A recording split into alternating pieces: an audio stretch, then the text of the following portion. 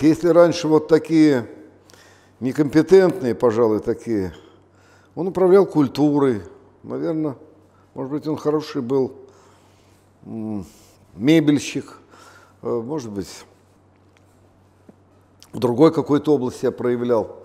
Ну вот, э, знаете, как картину раз высматривал сапожник и в обуви ошибку указал. Стихи Пушкина. Взяв тотчас кисть, исправился художник. Вот, подбочать сапожник продолжал. Ну и там начинает, говорит, про грудь, что это не слишком ли нога? Говорит.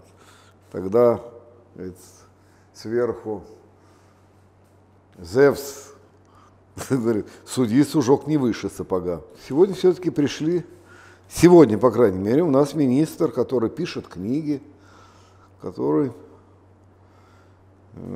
интересные статьи пишет, он ну, вклинивается. И я понимаю, что это не кто-нибудь за него написал, а он взялся за управление культурой в России, ну, пытается, конечно, наверное, не просто управлять и кинематографом, и балетом. Все-таки это разные вещи, управлять симфоническим оркестром.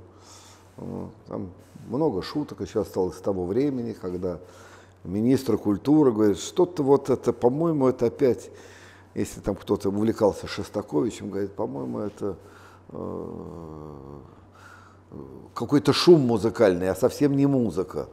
Вот шум вместо музыки или что-то еще вместо музыки, находили какие-то эпитеты. Вот. Тогда опытные музыканты говорят, вы знаете, я, наверное, сыграю какую-нибудь шестую рапсодию листа вместо этого. Вот она такая спокойная мелодия. Говорит, ну вот-вот, пожалуй, лучше шестую рапсодию, которой не существует в природе. Так называли. Ну, что поделаешь.